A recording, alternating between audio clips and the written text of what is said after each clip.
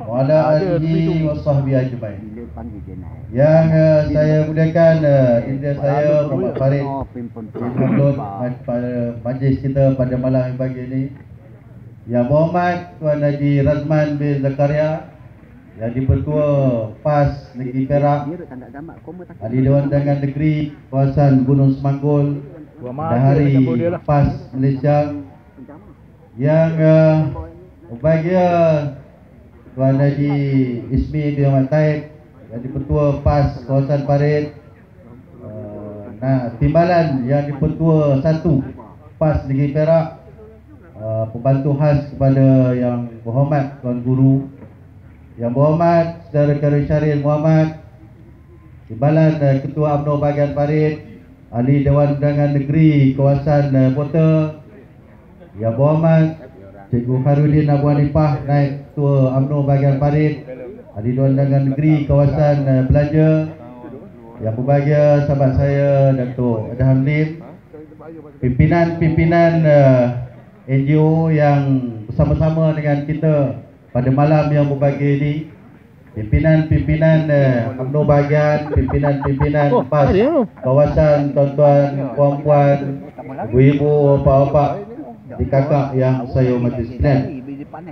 Yang pertama sekali dalam kesempatan ini Saya juga ingin mengucapkan uh, terima kasih Tahniah kepada PAS dan UMNO Yang dapat menjayakan merancang satu program yang cukup bermakna Iaitu ceramah perpaduan ummah Yang dapat kita adakan di lapangan rumah saudara Cik D kita Ucapkan terima kasih.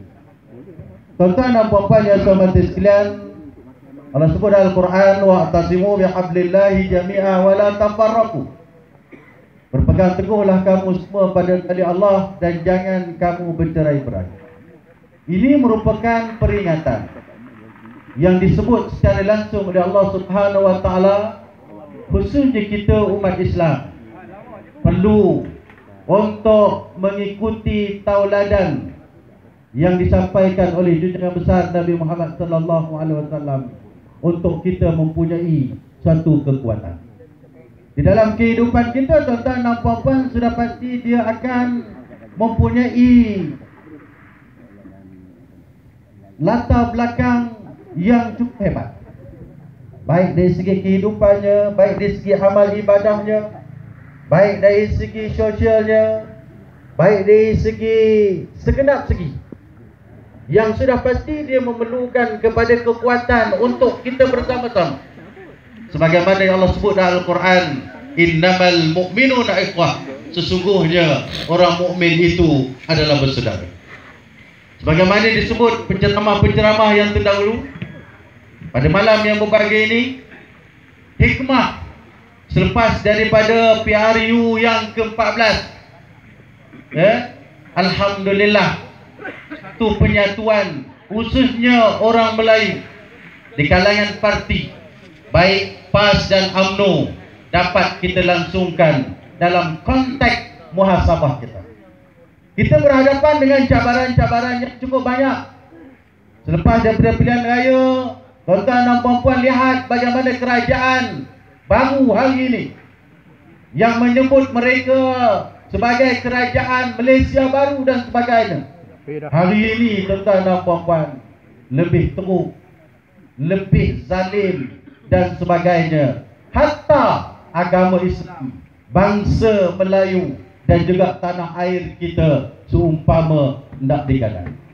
Bayangkan tuan-tuan dan puan-puan yang sama sekalian Hari ini Kalau kita tengok dari segi sudut ekonomi dan sebagainya Bagaimana kalangan Felda, Fekra, penori getah harga komoditi hatta dalam manifesto yang di yang ingin dilaksanakan oleh mereka hari itu dia sebut 100 hari.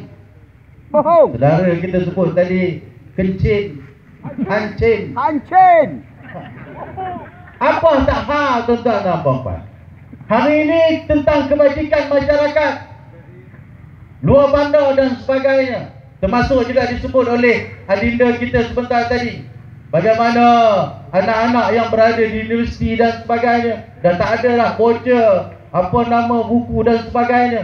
Hari ini tuan-tuan dan puan mereka tidak dapat melaksanakan melainkan apa yang disebut oleh mereka. Kerajaan hari ini Pakatan Harapan yang dimonopoli oleh DAP. Haji menyebut kerajaan yang terdahulu yang salah. Tak habis-habis dalam parlimen tuan-tuan dan puan tengok setiap hari. Tak ada alasan yang lain melainkan menyalahkan kerajaan yang terdahulu. Mudah 10 bulan. Mudah dekat nak setahun, 9 bulan kalau ikut lahirlah sesuatu gamaknya. Eh, gamaknya lah. Tetapi hari ini tuan-tuan dan puan itulah yang berlaku hakikat. Bagaimana agama Islam kita bagaimana disebut sebentar tadi penghinaan tentang baginda Rasulullah sallallahu alaihi wasallam berleluasa. Bagaimana keadaan yang disebut oleh mereka rule of law. Ada kes yang sedang berlaku berjalan di peringkat mahkamah ditarik dengan sewenang-wenangnya. Kenapa tuan-tuan dan puan-puan? Ada institusi-institusi penting yang telah pun dimonopoli oleh mereka.